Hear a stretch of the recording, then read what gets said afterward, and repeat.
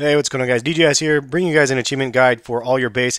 And basically, uh, you have to activate the generators without allowing one to stop. Now, this one was a little bit tricky for me to, to do at first because I didn't realize that what or what exactly it meant. So I, I figured I'd do a, a, tutorial on this to show you guys. Now, when you are basically initiating the generators, these guys will come at you.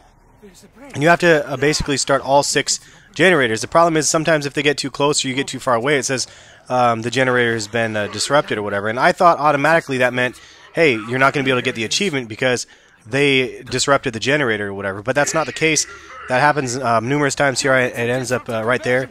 I disrupted the generator by walking away too far and uh, stopping the process. But you still can get the achievement if that happens. That's why I wanted to do this again to show you guys.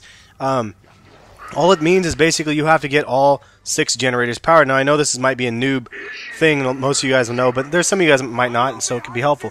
So there's six generators total. All you have to do is have them all powered before they come back around and start wrecking them. So if you didn't know, as you play through the rounds, um, some of these lighted zombies will show up in a little icon on the screen and just run around and actually destroy the generators. You have to have all of the generators um, up before that ends up happening. So uh, it's best to just go through and, and, once you get a chance to and you can afford it, just go through and, and turn on all the generators if you want the achievement.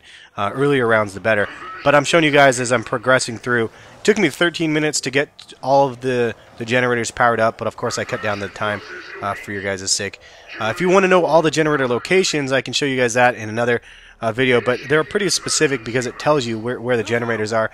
Generator 4, 5, uh, 3, and 2, and then 6 is behind the church. Um, but that's pretty much it. You can see that uh, it was disrupted there again, and uh, and I still ended up making it happen. And then the last one again is the generator six behind the church.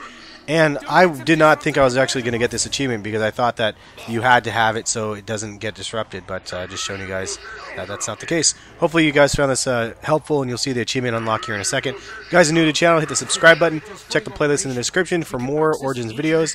And uh, you can see right here, after that one was powered, all your base uh, was complete. Uh, we'll catch you guys later. Peace.